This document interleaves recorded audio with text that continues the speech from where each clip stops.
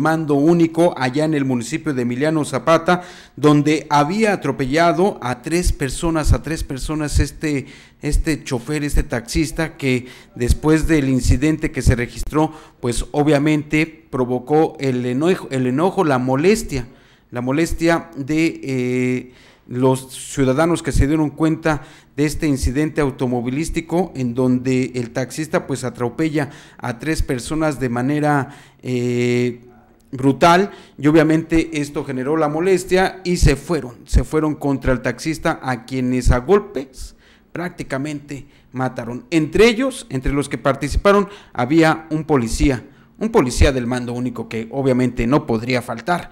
¿Cómo va a poder faltar un policía del mando único ahí en estos hechos tan lamentables? Vamos a escuchar lo que el día de hoy comentó sobre estos lamentables hechos el secretario, el secretario de gobierno Matías, Matías Quirós, quien también advirtió y reaccionó sobre este, sobre este tema.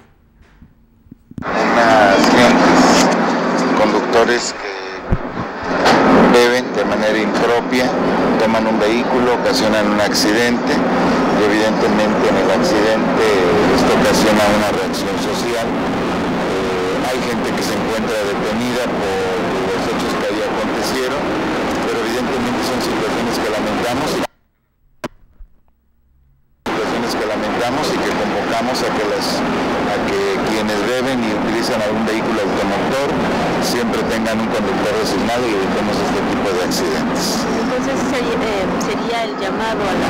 Sí, es un llamado a la cordura y a la prudencia de todos los actores. No se puede seguir bebiendo y teniendo la responsabilidad de conducir. Este tipo de accidentes se pueden haber evitado y desde luego este tipo de circunstancias sociales también se pueden haber evitado y estas reacciones ante un hecho tan lamentable donde hay una persona que pierde la vida, pues evidentemente ocasionó una reacción social que desencadenó una tragedia mayor y bueno, se actuará conforme a derecho, tanto para quienes hoy han, han transgredido la ley.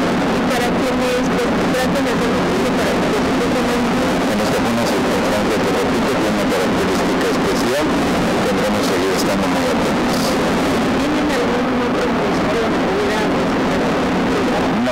tenemos detectado, repito, esta fue una circunstancia excepcional. y no ponen alerta secretario para que se pudiera surgir estos mismos casos en alguna otra comunidad? Bueno, estamos invitando a la cordura a toda la sociedad en este tipo de accidentes.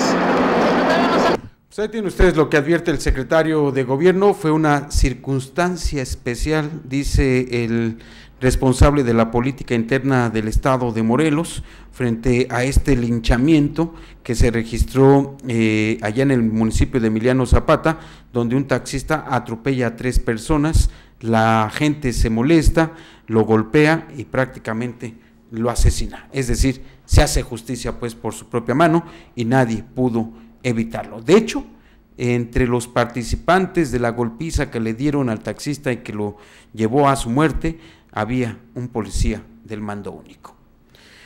Y miren, por cierto, ya que estamos hablando de... el